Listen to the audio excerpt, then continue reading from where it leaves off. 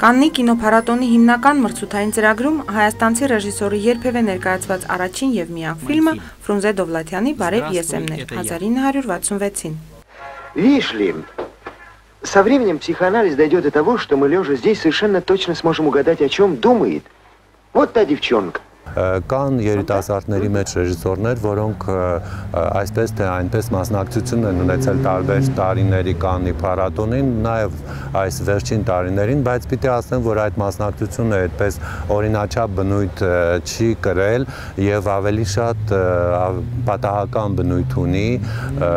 ստացվել է ինչ որ պատահմունքի բերումով կամ անձնական ծանոթությունների ճանապարհով, պաշտոնական ճանապարհով որևէ հայկական ֆիլմ չի ներկայացվել ստացվել այլևս բարև եսեմից հետո։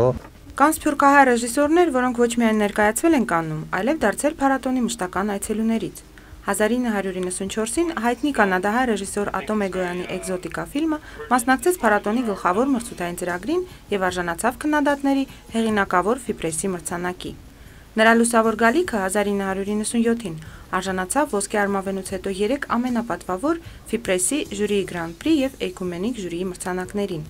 Էգոյանն ընդգրկվել է հիմնական մրցույթի ժյուրիի կազմում, իսկ 2010-ին եղել Փառատոնի հարակից Սինեֆոնդասիոն կարճամետրաժ ֆիլմերի ծրագրի ժյուրիի նախագահ։ Իդեպ այս տարի այն գլխավորում է ռեժիսորի կինը, դերասանուհի Արսինե Խանջյանը։ Տարբեր տարիներին Կանի փառատոնին իրենց մասնակցությունն են բերել նաև ֆրանսիահայ ռեժիսորներ Անրի Վերնոյը եւ Ռոբեր Գեդիկյանը։ 1910-ին ֆրանսիահայ ռեժիսոր Սերժ Ավետիքյանի Շների կղզին անիմացիոն ֆիլմը հաղթող է ճանաչվել Սինեֆոնդասիոն կարճամետրաժ ֆիլմերի մրցույթում։ Սերժ Ավետիքյանը ոսկե արմավենու արժանացած դեռևս միակ հայազգի կինոգործիչն է։ Խորհրդային տարիներին գրեթե անհնար էր երկաթե վարակույրից այն կողմ որևէ գործունեություն ծավալել։ Հետո հայկական կինոն փլուզվեց, անեացավ մի ամբողջ համակարգ։ Վերջերս էլ սեփականաշնորվեց Հայֆիլմ կինոստուդիան։ Հիմա մենք զարգացած կինոարտադրություն չունենք, կարելի է ասել այդպես